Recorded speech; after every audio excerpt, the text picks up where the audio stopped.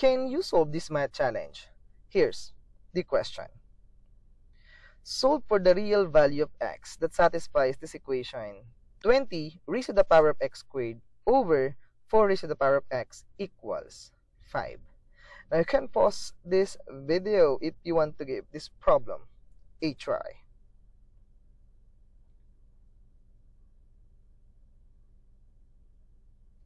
And now, let's answer this question together.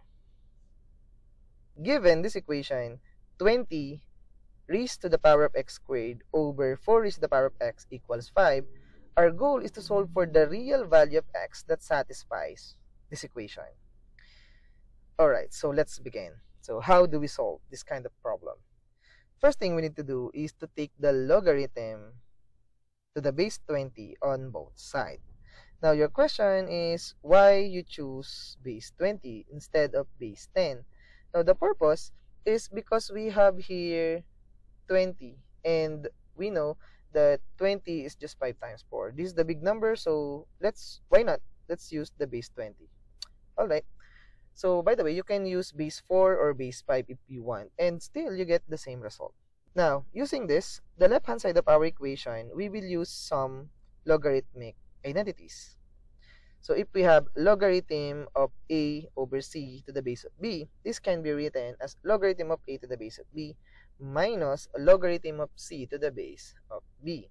So the left-hand side of our equation can be written as logarithm of 20 raised to the power of x squared to the base 20 minus logarithm of 4 raised to the power of x to the base 20 equals logarithm of 5 to the base 20. Now at this point, we will use another law of logarithm. Take note, when we have logarithm of c raised to the power of a to the base of b, it must be equal to a multiplied by logarithm of c to the base of b.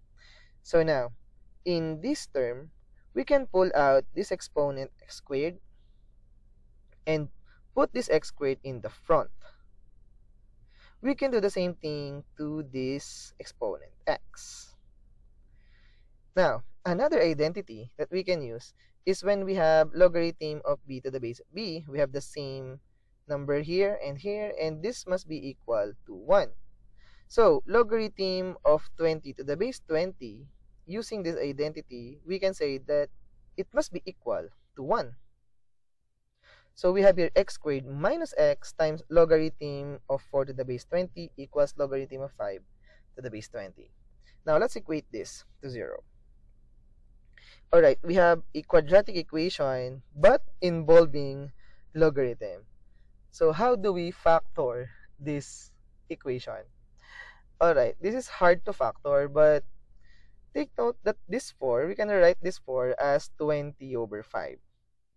And using again the law of logarithm a while ago, we can rewrite this part, logarithm of 20 over 5 to the base 20 as follows we have logarithm of 20 to the base 20 minus logarithm of 5 to the base of 5. So using this identity.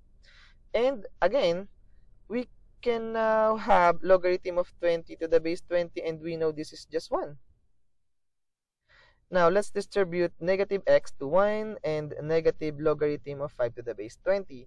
If we do that, we get x squared minus x plus x times logarithm of 5 to the base 20 minus logarithm of 5 to the base 20. Now, this is now easy to factor because using the first two terms, we can now factor out x and sure enough, we get x multiplied by x minus 1. And on this third and fourth term, we can factor out logarithm of 5 to the base 20.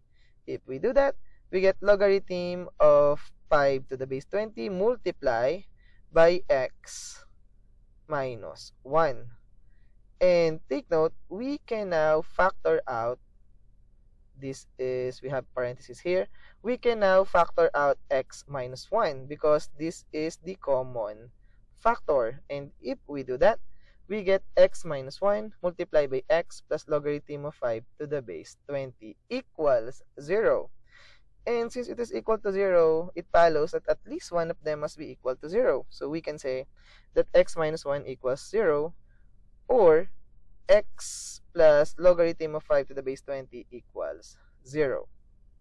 And using the first equation, if we add 1 on both sides, we get that the first value of x, the real value of x that satisfies the equation must be x equals 1. And using observation, you can see this value on the spot. Alright? But the second value, we cannot see this using observation.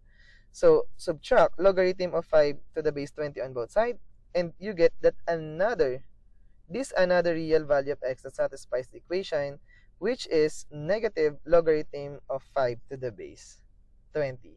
And that is the two possible values of x, real value of x, that satisfies this equation 20 raised to the power of x squared over 4 raised to x equals 5.